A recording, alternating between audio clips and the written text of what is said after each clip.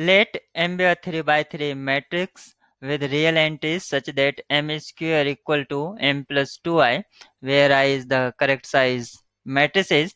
If alpha, beta and gamma are eigenvalues of M such that product of alpha, beta, gamma equal to minus 4, then their sum is equal to. Now we have to find alpha, beta and gamma and uh, then their sum as M is a matrix of size 3 by 3 and satisfying M square equal to M plus 2i, it means annihilating polynomial Nm can be written as x square minus x minus 2.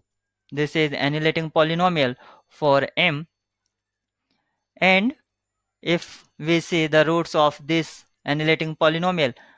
Because this is annihilating polynomial you can put uh, m in this. So m square minus m minus 2 times identity equal to 0 this is coming from this line.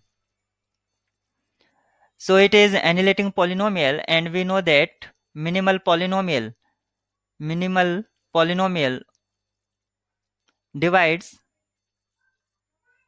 annihilating polynomial m square minus m. And uh, in terms of right x in terms of x x square minus x minus 2 and factorize it it will be x minus 2 and x plus 1 these are factors. So min polynomial min polynomial divide this one. It means the possibility possibility for minimal polynomial is x minus 2 x plus 1 or x minus 2 x plus 1 it means complete this one. One factor other factor and complete this. So these are three possibility for minimal polynomial.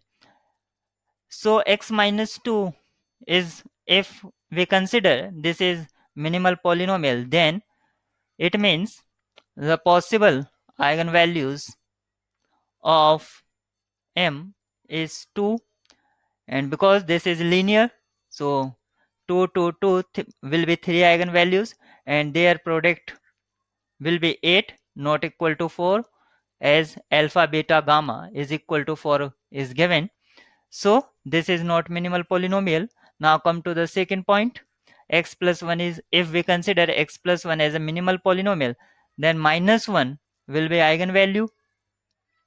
So it will repeat three times minus 1 minus 1 and uh, their product will be minus 1 which is not equal to minus 4. So this is not minimal polynomial. If we consider this x minus 2 x minus 2 and x plus 1 as a minimal minimal polynomial. Then eigenvalues are 2 and 1 and one eigenvalue is 2 minus 1 sorry 2 minus 1 and one eigenvalue will be there which make you minus 4 so there should be 2 2 2 is 4 and minus 1 so is perfect minus 4.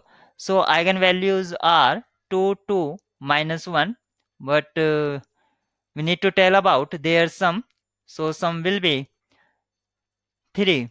2 to 4 minus 1 3. So alpha plus beta plus gamma is 3.